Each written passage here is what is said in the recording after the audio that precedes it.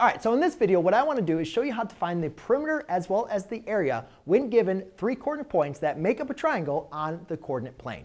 So the main thing we want to understand here is if we're going to find the perimeter, we're going to find the length around this triangle. So basically, we're looking into finding the distance between each of these points, so from z to y, from y to x, and, and x to z, and then we're going to add them all up. And that is going to give us the perimeter. Whereas the area is going to give us this um, space in between all of these vertices or inside of this shape. So let's go and start with the perimeter because typically the perimeter is one going to be helpful for us to be able to identify the area as well it's usually something that we have um, start off with as far as finding the distance. Now typically we found the distance between any two points using the distance formula. So if we had any two points like x2 minus x1 quantity squared plus y2 minus y1 so if we had any two points, we could easily just use the distance formula to find the distance between them. And you could definitely use the distance formula um, to find the distance for all three of these sides. But in reality, if we have a coordinate points,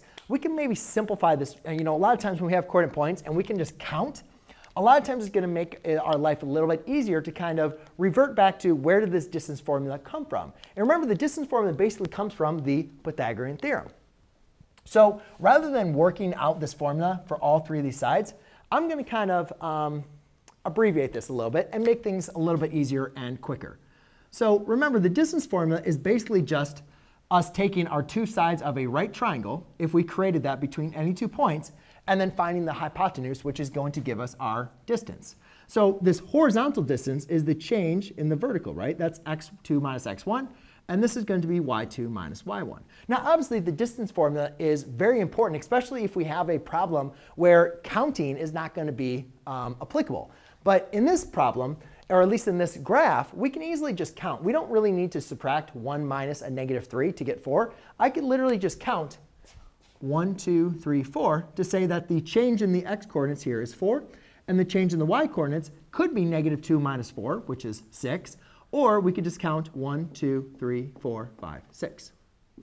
And again, we don't really care if it's negative or positive, what direction we're counting, because again, what Pythagorean theorem tells us we're going to square these two values, right? We know that um, in this case, if you're looking at the Pythagorean theorem, 6 squared plus 4 squared equals d squared.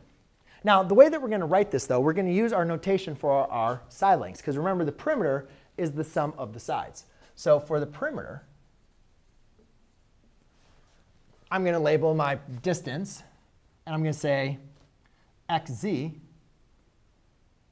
Okay?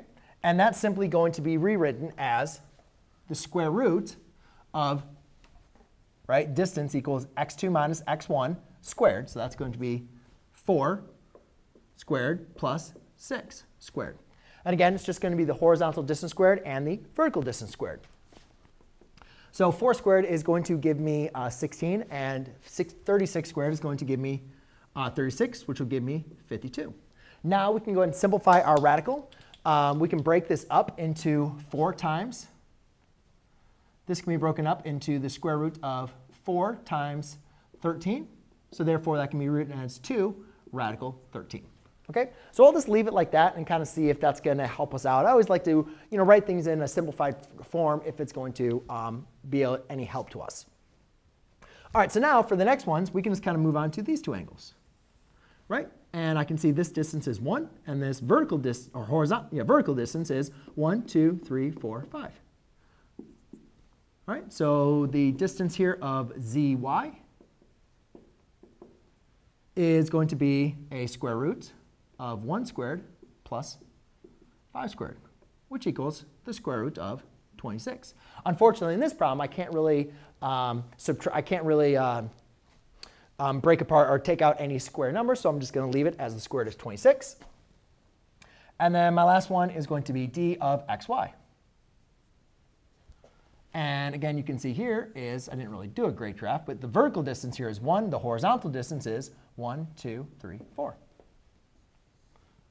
Wait a minute. 1, 2, whoops, 1, 2, 3, 4, 5.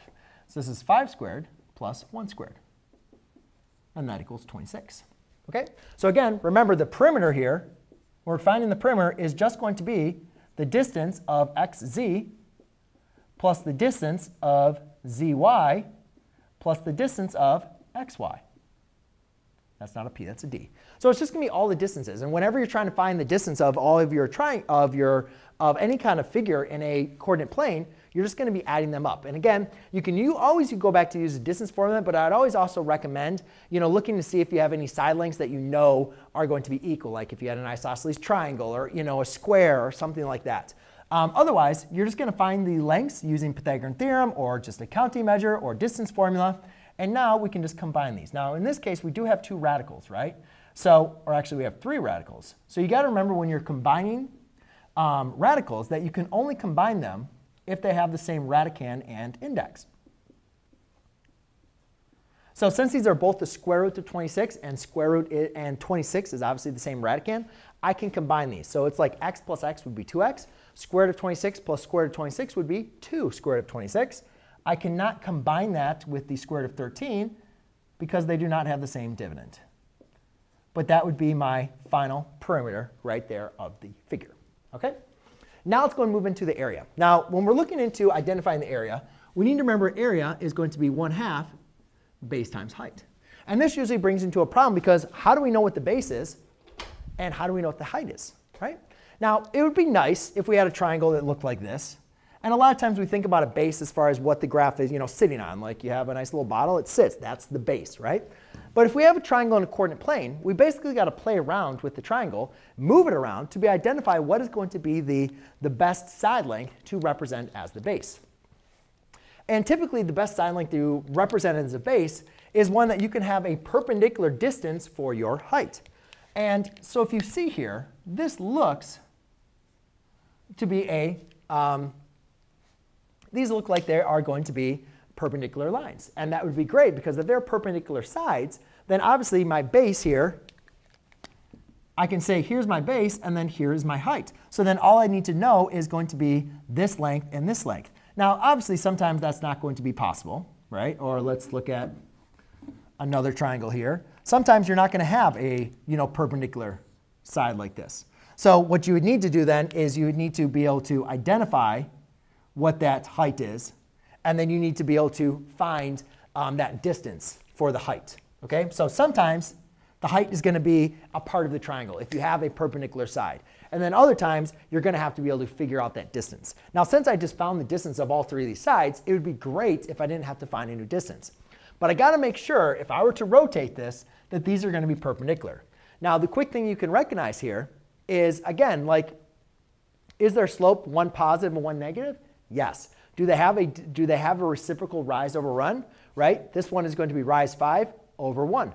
This one is rise 1 over 5. So you can see they are reciprocals of each other as far as their slopes goes, and one is positive, one is negative. So since this is a perpendicular height here, if you were to rotate this, this side length could be represented as the height, and then this side length could be represented as the base.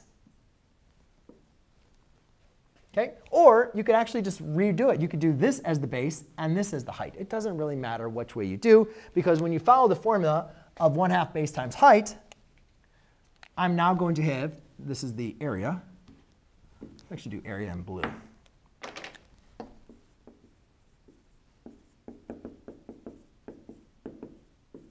Okay? So it doesn't matter if we're going to do the xy. So we'll do the distance of um, xy. Do the distance